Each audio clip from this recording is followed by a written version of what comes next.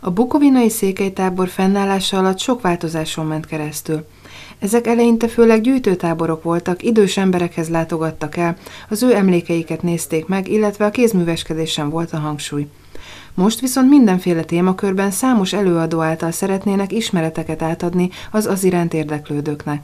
Ez azt jelenti, hogy a megkopó, több generáción keresztül már változó emlékeinket szeretnénk továbbképzésszerűen, sok-sok előadással helyre rakni, hiszen a, a korosztályok, ahogy egymást váltották, ahogy a tudás átöröklődött most már egyik emberből a másikba, itt-ott bizony már nem egészen az, ami eredetileg volt.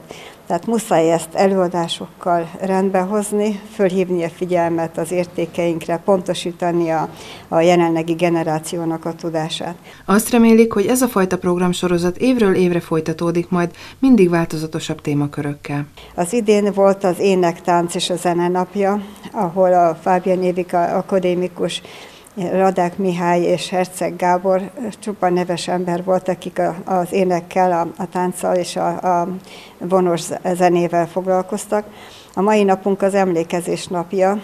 Ma a népi építészetről volt szó. Dr. András talán volt szíves, hatalmas örömünkre eljönni ismét a táborba, hiszen sokszor volt már a néprajzi táborainkban.